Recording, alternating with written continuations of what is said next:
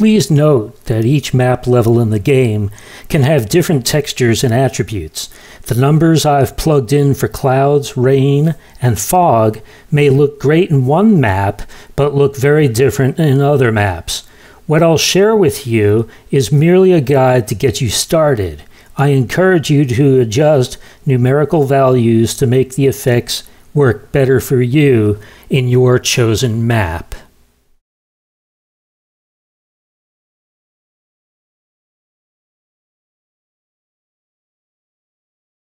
Good evening, John O'Flaherty, the B3 burner, and today we are in Beam NG, the car game, to demonstrate how you take a sunny sky and turn it into a rainy sky. And we're going to use the East Coast USA default map in Maine as our uh, example. And there are things we basically want to do. One, we want to make it overcast. Two, we want to take these white clouds and turn them gray. Three, the sun doesn't disappear on its own, so we need to make the sun disappear. And then four, we need to make it rain. Five, we want to bring in some fog to make it a little bit more uh, low visibility, like in a driving rainstorm. And then six, we'll emulate lightning overhead without thunder. Uh, oh, one other thing I want to try to get the rain sound. So we're going to go into the New World editor. That's the one that they prefer you use. They're trying to slowly phase out the old one. And we're going to go into level objects. That's the first thing we're going to do is we're going to turn the sky gray. And in order to do that, we need to make it overcast. And in order to make it overcast, we need to get into the clouds. So we're in the clouds section and it's an openable folder and inside it sits clouds and clouds 1. That just means that there's two different levels of clouds. We're going to go into clouds and we move to the right hand column and you see the first thing here base color, exposure, coverage, and don't worry about wind speed and height. Uh, the base color is white, as you can see. So the first thing we want to do is stay down the grayscale line. We don't want to come over to the red uh, because that's going to look funky. And we're going to go down to about here. And you can see it took just a few clouds and, and made them, let's make it a little bit more medium gray. Okay. Not very convincing, but don't worry. We'll bring the coverage up to 10, and all of a sudden, things look a little bit more ominous. Now that we've done that, let's bring the height up from 3 to 5. Not much of an impressive change, but a little bit of a change. I'm going to make it a little darker. There we go. Good enough. Now we're going to go to clouds 1 and do the same thing. I don't like that base color. So we're going to bring them down until they match or are slightly more ominously dark. How about that? Yeah, that'll work. Coverage, we'll again bring up to 10. There we go. Now that's looking more ominous as we look around, oh yeah, it looks like it's going to rain any second, doesn't it? Now there's a problem but with that, but I'm going to get to this in a second. We could change the exposure, but that changes the brightness of the clouds, and we've already done it by changing the actual physical color. No need to do both, except, and I'll show you. Let's go from 1.3 to 3.0. Yeah, see, all it did was brighten it. I was going to say it gives it more definition and you can actually see the cloud textures better, but uh, the answer is no. So we leave that alone. The main thing is we want to change coverage and we want to change height. I changed the height of clouds to uh, 5. So let's take clouds 1 and make it lower. We'll change it to 3. Yeah, I like that. The really dark ones are hovering lower toward the surface. Okay, so we've got a problem. If in fact you haven't already noticed what it is, A, the sun is still shining through supposedly overcast skies, and two, the sun is reflecting brightly off the ground and casting really contrasted, very stark shadows, like it was a clear sunny day. And we started with a clear sunny day, so that makes sense, but we want to get rid of that. So first thing we want to do is now go to sky, sun sky. The size of the sun is currently 1.0. We want to move that, change that to zero. We have to change brightness. This is really important. We could uncheck cast shadows, but that leaves it just as bright, but without shadows. We don't want it to be just as bright. We want the ground to be dimmer. So we take brightness and move from 1 to 0. Oh, now it looks really dim and dreary, like, like it's about to rain. And oh, see, the sun's disappeared. It's a combination of two things. One, you got to take the sun size and bring it down to zero, but then you also have to take uh, the brightness and bring it down to zero. The two work hand in hand.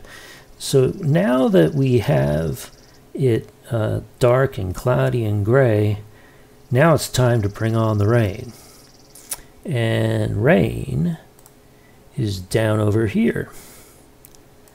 And we have rain coverage and we have rain single drops. And those names pretty much are what they imply. Coverage is the wide overall area, and single drops is looking at individual drops on, a, on more of a micro level versus a macro level.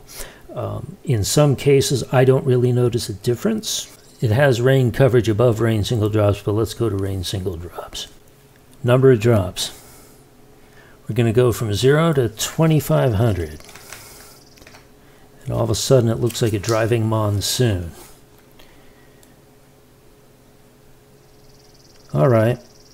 But it only looks like it's falling in one specific area. Very, like there's one little rain shaft and it's uh, falling to infinity in a center, but not really going anywhere else. That's okay. We'll fix that. I'm not not too worried about that. We have to draw an imaginary box and give it width and height. Box width we're going to bring from 10 to 16, and height we're going to bring from 6 to 10. It doesn't take much difference to change how things are and the nature of it. And now it's gone to more of a pulsating motion, which uh, which it's not doing anymore. Okay, good. We clean that up. Uh, rendering drop size, we're going to leave it at 0.08. Splash size, we're going to move that down to 0.20 from 0.25. There we go. Splash in splash, splash animation in milliseconds, we'll leave that at 80. Animate splashes, yes. Drop animate in milliseconds. We're going to move that from 0 to 1,000. Okay, there we go. Fade distance, this is really important. This is when drops appear to fade. Fade distance 25, we're going to move it from 5 to 25. Fade distance end, we're going to move it from 10 to 50. All right, there we go. And now it's starting to look, yeah, maybe a little bit more spread out. Hard to say, but it does definitely have the illusion now that uh, you're getting wet just looking at it. All right, and that's kind of how we want rain to be. Use true billboards. Yes. I don't know what any of that means, but we're just I'm just telling you what settings I use. Use lighting. Yes. Glow intensity, we're not going to mess with that. Reflect, yes. Rotate with camera velocity, it's already checked. Collision, we want to do collision. We want to hit players, we want to hit vehicles. So it's hard to tell, but I suppose it appears to be hitting the pickup truck, and is it? I don't know. You tell me. Yeah, see, there's a couple of splashes hitting the roof of the truck. Not often, but there it is. And we're done with that. Now we go to rain coverage. And this is where I think we're going to make our animate splashes. We're going to do just like the other one, number of jumps, 2,500. Now notice that makes it look like a monsoon. We clearly don't want that, but we're, we're going to change some things. This already defaulted to uh, box width 1610, box height 10. I must have left it that way. Drop size 0.08. Calms it down, calms down the monsoon. Splash size 0.20. There we go. Splashes in microseconds 80, yes. Animate splashes, yes. Drop animate in milliseconds, a thousand. So we're going to go from zero to a thousand. There we go. Fade distance, same as the other. 25. Fade distance end, 50.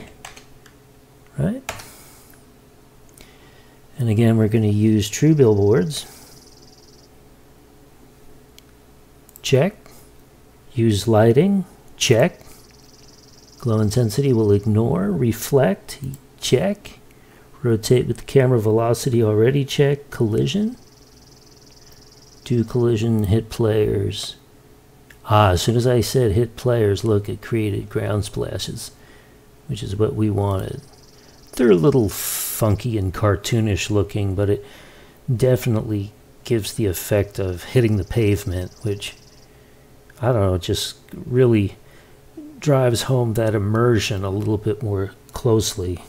Definitely a better situation. Hit players, hit vehicles. That's looking pretty good to me.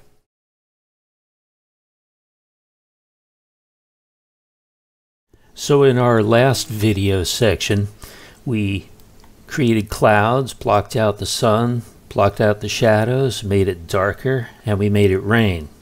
Now we're going to turn to the task of creating the rain sound because right now the rain is silent and we're going to eventually add some lightning. First, let me bring up the audio level a little bit more.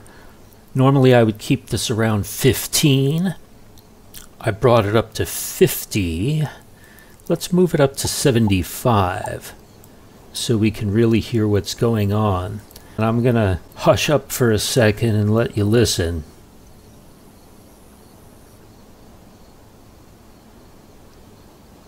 And what you're hearing is birds and the waves crashing into the shore because uh, the shoreline is only about uh, half a mile downhill over here. None of what you're hearing is falling rain. We're going to have to create that ourselves. And in order to do that, let us once again open our New World editor, the same one we were working with before. Only now, we want to go to this menu bar, this ribbon up top, and it's not really well advertised how you get to new uh, new phenomenon. But you come over here, there's one of those insects that went flying by. You get to the plus sign, create an object. You ple- press, press on the plus sign, and a new ribbon bar opens up, and you have a whole bunch of new choices here. Um, you can create water. You can create a new sun. You could have two suns in the sky if you really wanted to. Don't know why you'd want to do that. But if you were starting a map bare bones and you wanted to add the sun, uh, you could do that. Church bells. Yes, they think of everything. So, if we want to add the sound of rain, we go here, sound emitter. Okay. Once we hit sound emitter, it opens up a brand new item called SFX emitter underscore one. We had emitter one. So now we come down here under media, track, and we have to create an audio track. Over here we have none. So we click where the three dots are and half of it's off the screen so I'm going to put it over here. And you have various sound choices you can work with. Crash sounds glass breaking sounds uh, piano smash sounds. Um, don't know why you need all that but we're going to get right to ambient. Uh, ambient rain medium this one over here and we're going to hit it. And I don't know at what point you're going to hear the rain, but it's it might come up on this mouse click. We'll see. And there you go. In fact, it's so loud almost to be a little deafening. And here, I'm going to come out of it for a second and turn it down.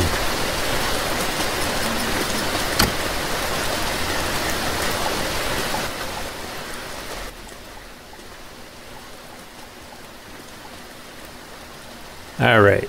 So you can definitely see that that is a different and more fuller and complete sound than what we had just listening to the ocean in the distance. It sounds much more local.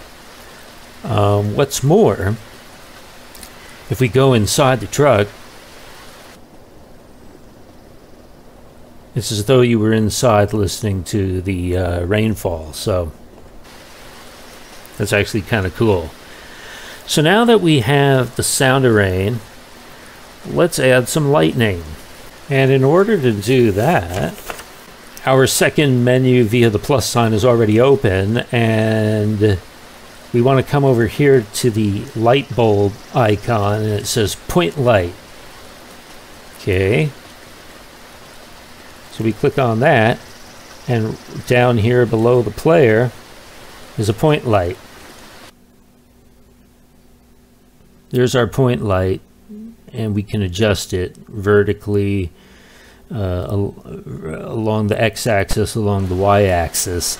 Uh, we're, we're going to do this by the numbers so that I, I, don't know why when I press on the screen a second time it created a second point light, but below the player uh, we have the emitter one and the point light one, and we only want one. So, okay, so we need to dial in the coordinates, and the coordinates I have to create lightning over the gas station is x equals, hold up, I need to be able to see this, uh, x714 decimal 413, enter, y equals negative 15 decimal 413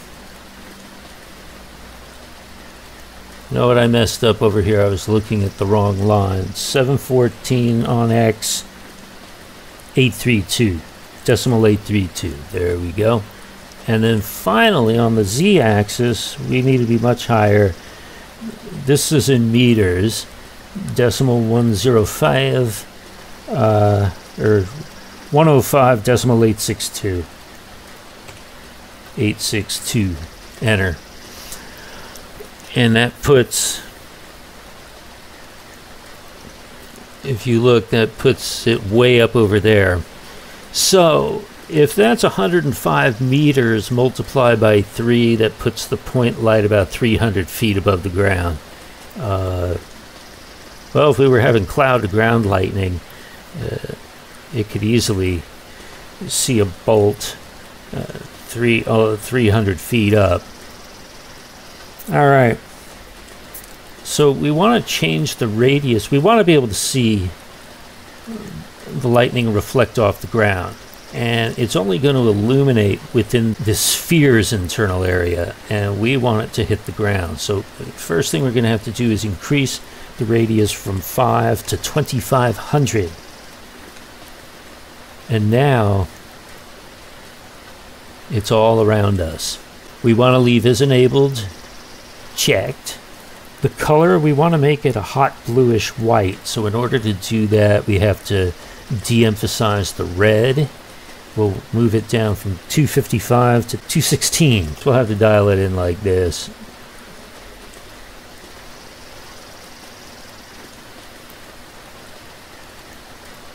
Two fifteen, two forty eight, two fifty five, two fifty five. Guess what? That is going to do it. So I don't know how you click on these and make them work. I, I, don't think so. I think those are readouts, not inputs. You have to use the color swatch. So I said I wanted it at 216. It fell on 215. I wanted it at 249. It fell on 248. And uh, blue I wanted at 255 and it stayed at 255.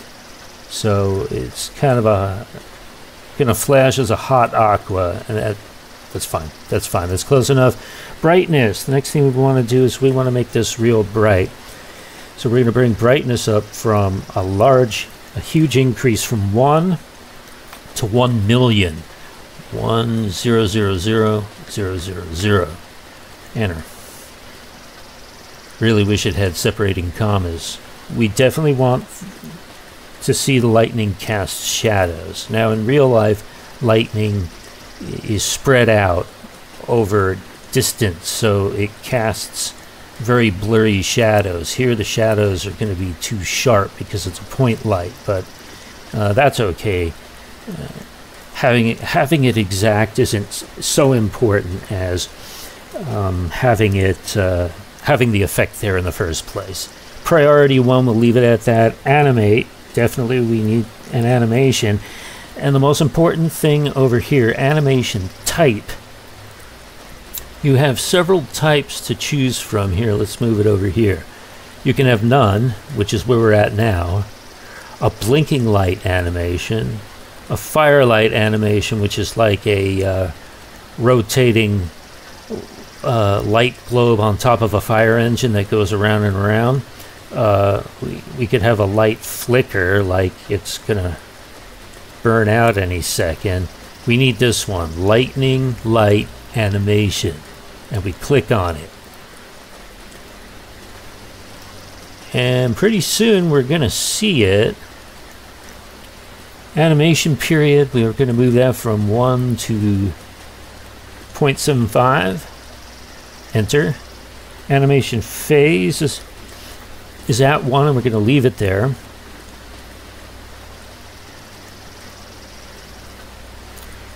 Texture size, we're going to leave it at 512. That's the texture of the light or the shadows. We don't want it too sharp. Shadow distance, here we go. It's only a 400, we want it at 5000.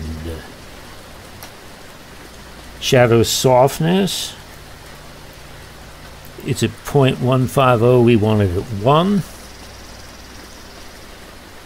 Number of splits, it's at 1, we want to keep it there.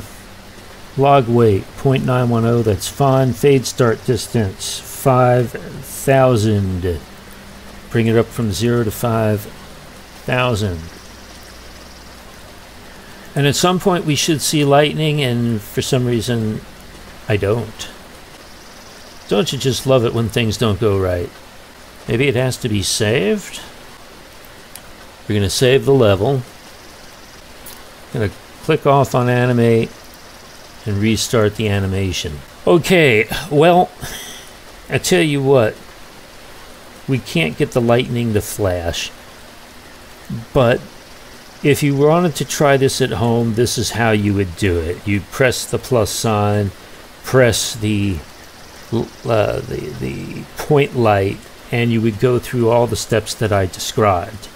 That's how you go through the procedure. I saved it as such. I want to double check if it got saved. Let's um, come in here real quick. Uh, beam folder.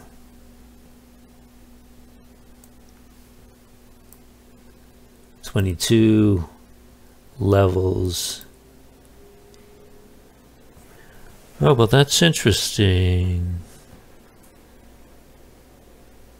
Why didn't that get saved?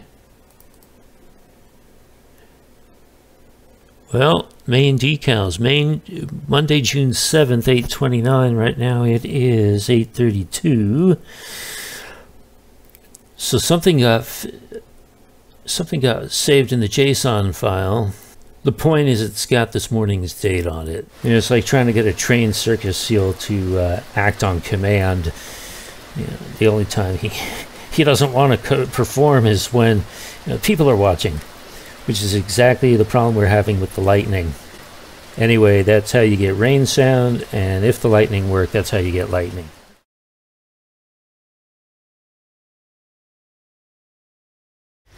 Hey, we're back, and guess what? I got the lightning to work. Okay, for those of you who do this, I know the secret now.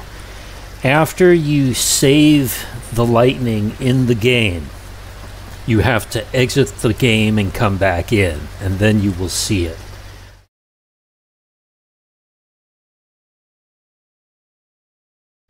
Uh, actually, something that was a little bit confusing. First, I saved the game, I saved my level changes while I was in the game, and I, I think you saw me do that. When I went to exit the game uh, later while I was off recording, trying to uh, figure out what the heck was going on. When I went to exit the game, it asked me one more time, or it said, You have changes that are unsaved. Do you want to save them, yes or no? And I thought to myself, Well, I've already saved. Why is it asking me again? All I could figure is the lightning didn't take until I saved it that second time, exited the game, and came back in. There it is. So, you want to create lightning. Uh, it's not one of those uh, changes like the clouds, the color of the clouds, the rain, sound, rain sound. Those changes happen instantly as soon as you incorporate them. Lightning is apparently one of those things that it doesn't happen right away. You have to exit the game and then come back in, and then you'll see it.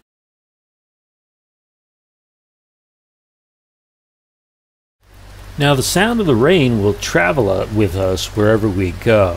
I'm going to show you.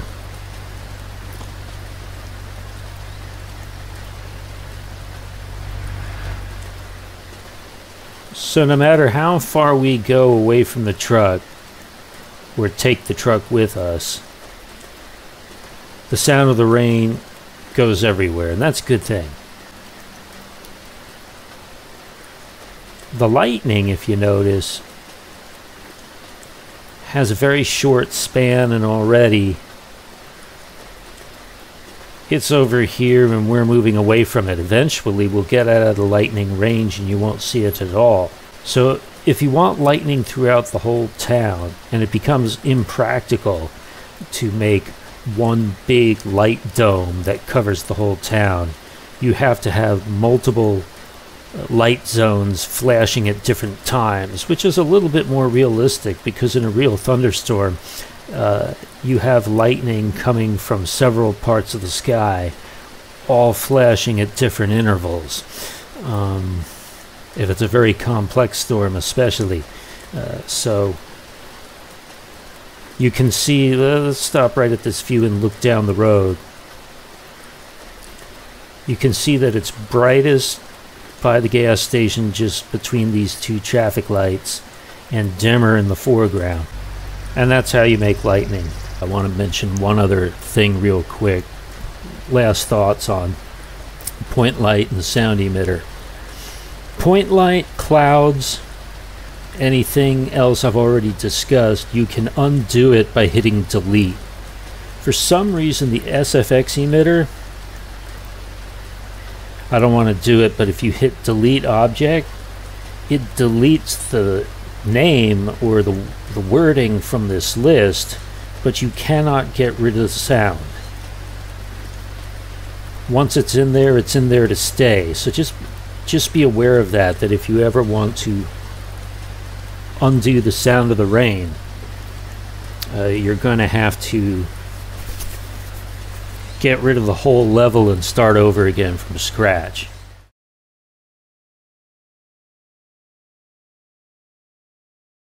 And the final thing we want to talk about is adding a low visibility layer using fog. And there is a fog feature in this to simulate a low visibility layer while it's raining. Kind of adds to the mystique and the realism of the rain experience. Uh, you know, in a very heavy driving rainstorm, you can't necessarily see the outline of the clouds, the medium height clouds, a sort of a lower scud level known as uh, nimbus clouds move in and, and sort of obscure everything around it, almost like a fog. So we want to create that effect. I have a caveat though. I've experienced this before, and I'm going to tell you or advise you on how to handle it and what not to do. So the first thing we do is once again we go into the new world editor and we are going to return to level object and we're going to hit infos over here toggle down and now I'm in the level info and over here is fog color notice it's bluish I don't agree with this, but the way they, the reason why they made fog level bluish was because it's supposed to emulate the haze layer that you would get where the ocean horizon meets the sky. And that's about the color of that. But when you're trying to use it as a fog that you pull in toward you, you really want it to be more gray. So what we're going to do is first we're going to introduce let's go point zero zero five. And there's the fog but it's a blue fog. So the first thing we're going to do is we're going to squeeze onto the gray grayscale oh boy that would sure help if it actually worked Oh, you know what? I think I did this wrong. An important point to learn. If you have a sky object, you cannot control the fog from the level info. You only use the level info section, this section over here, to control fog density. As soon as you want to change the color, you need to go over here. Sky, sky, sun sky. And here we have a fog scale, and this is the one we need to work with. It's very important that you realize that. Now, as I come over here, I can make it all the way black. I can make it gray. Let's make it a medium gray. And I can still see the blue horizon in the distance through it. So we're going to want to uh, change that. Let's go back to the level info. If you're going to make fog, you need to change the fog height. That's right. Level info. Our fog height is only 2,500 feet. We need to make it 500,000. We'll move 2,500 to 500,000. There we go like if Nimbus had moved in or fog had moved in while it was raining, it blocks out the other clouds and it blocks out the horizon and makes it look like you're really socked in with rain, which is exactly what we want. Now let's go back to sun sky, fog scale, and make it a darker gray. We could darken it all the way to the point where it looks like night. We could make it all the way white. I want something really dreary looking like that. So make our fog scale about, it's 73 now, let's make it down to 64. 65, close enough. And there you go. So we'll now hit File, Save Level, come out of there. And now when we look around, we have rain, we have clouds, we have fog, we have lightning. The only thing we have, we have the sound of rain. The only thing we're missing is the sound of thunder. And they have not incorporated thunder sound yet, so that we have to live without. But we've gone from a clear sunny sky to a socked in rainstorm with low visibility included. And I can make the visibility lower than that if I want to, but I think uh, five, one, one hundredth or whatever I picked is good enough.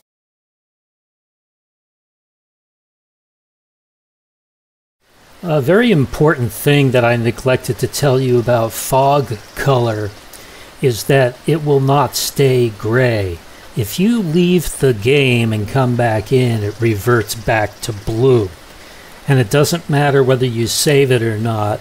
So each time, you'll have to go into Level Object Sky, Sun Sky, Fog Scale, and change it back to gray, medium gray, or dark gray yourself.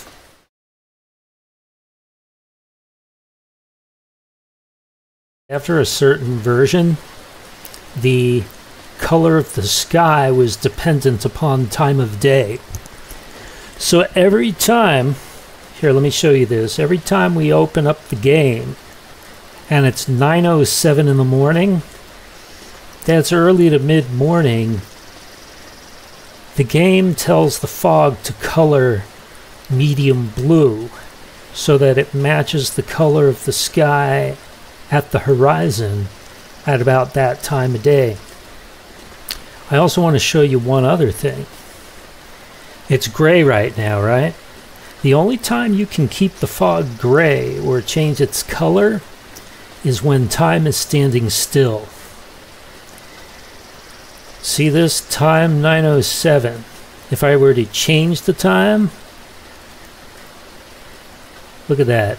I just bumped it from 907 to 947 and it turned it pink immediately. Also, if I put it in play mode, okay, so it's ticking through the day rather quickly, mind you, but let's go out of that. Now let's go back into our fog scale in our sun sky menu. Now if I try to change it and move back to gray, you can see it's trying to do it, but as soon as I let go of it, it bounces right back to blue. Let's try an extreme example. Red. I hit red and it stays red for a little bit so long as I click the mouse, but as soon as I let go of the mouse, boom, back to blue. Now, if I were to stop time from moving, and I'll demonstrate that by going back out of the editing menu and back into time and I uncheck the time movement check mark. Now let's go back into the editor, fog scale. Now I can do whatever I want. I want red fog. There we go with the red fog. I can change color any way I want. Green fog, yellow fog, deep blue fog, purple fog. Try that.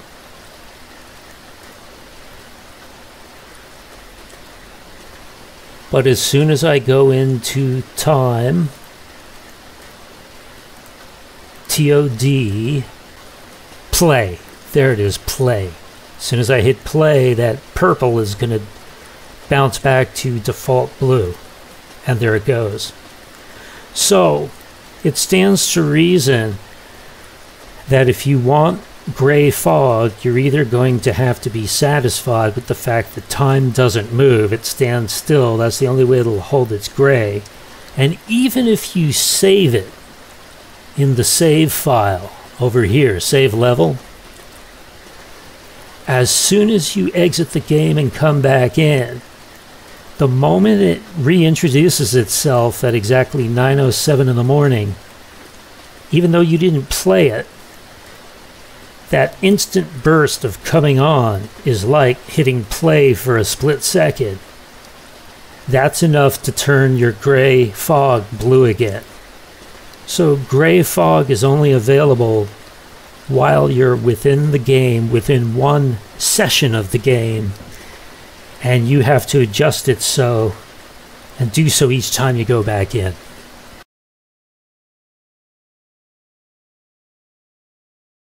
You know what? Let's try something. The fog is blue right now. What if we move to sun scale to noon? Not much of a change. There we go. Now notice at 6.14 in the morning, sunrise is at 6 o'clock. 14 minutes after sunrise, it takes on more of an orangish gray. That's uh, not by accident. Let's back up. So at 547, it's a deep gray. Then as we move up to 605, 610, 611, it's more of a orange yellow. Then as we near 625, it's more of the gray you would expect. So I guess if you want it to be right, you could always go and freeze your time at 6 o'clock and save it. Now as we work our way toward 645, it's already turning blue because the sun is getting higher up in the sky. And it remains that way all the way through 12 o'clock 12:14, 1 o'clock, 3 o'clock. Okay, now we're getting close to 5. It's 4:46 in the afternoon. It's 48. Now we're at 5 o'clock, and as we approach, there we go, 5.35. We're 25 minutes before sunset. Now it's turning more the gray you want. So you just have to move time to the gray you want, and then it will remember it. So if you want gray fog and you want it to keep it through the save, move it to a time about 25 minutes or 30 minutes after sunrise or 25 30 minutes before sunset and sunrise is at 6 a.m sunsets at 6 p.m so do the subtractions in the time or additions and figure it out accordingly. There you go.